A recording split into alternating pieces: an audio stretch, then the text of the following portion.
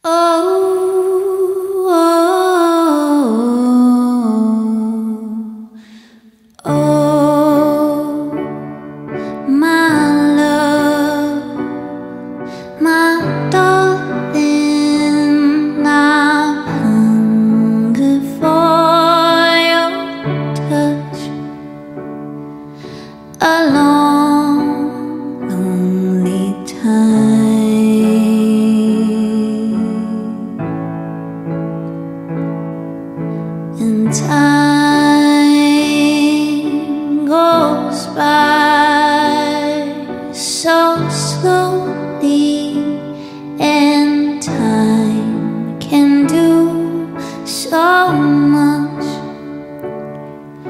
Are you still?